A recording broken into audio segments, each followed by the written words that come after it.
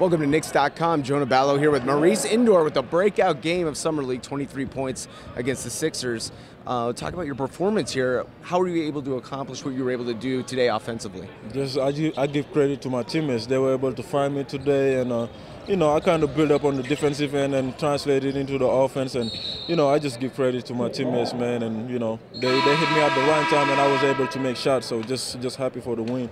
You know, Derek Fisher talked about how the team brought you in for pre-draft workouts, liked your game a lot, so they're really excited that you were able to join the team for the summer league roster. What about this fit in the way they run their offense? It seems like you're able to find some spots there in the triangle to get those mid-range jumpers. Yeah, I think the the triangle offense is uh, I definitely fit on it. Um, I think, you know, it's it's gonna show everything that I do really well. You know, as far as passing, knocking down the mid-range jumpers, and just you know, overall, the offense is, I think I really fit on it. So, you know, we just got to keep working, trying to, you know, understand it more. And once you once you master it, the game's going to become easy because there's a lot of shots that's going to come out of it, you know. We just got to keep being unselfish and just play the games because the offense is really easy to understand, really.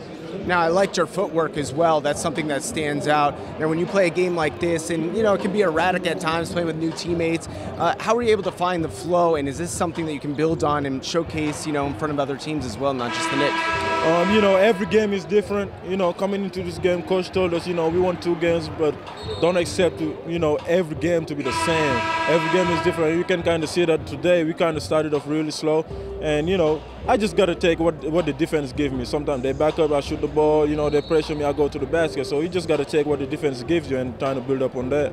You know, Coach Fisher talked about it. Uh, you know, Kristaps was in the back there hanging out with you. It seems like you guys have built some chemistry. Well, what would it mean to you if you were actually able to make this team and be part of that training camp Man, roster? It would be it would be really great. I mean, it's a great group of guys. You know, really humble guys. You know, working hard, really listening, and that's that's something that's really important because sometimes a lot of guys get big head, but these guys are really humble and they listen to anybody. They don't even have to listen to me, but they do. So I'm really, I'm just proud of them, and I'm happy to be with these guys. Wow, it was exciting to watch you play today, and you know what? You are uh, all over our Twitter, on Knicks Twitter. They are excited. The fans are excited to see you in action. So hopefully we'll see you uh, in the near future, and of course a couple more games in Vegas. Definitely, I hope so. Definitely. It was, it was great to meet you, Reese. Thank you so much for your time. Thank you.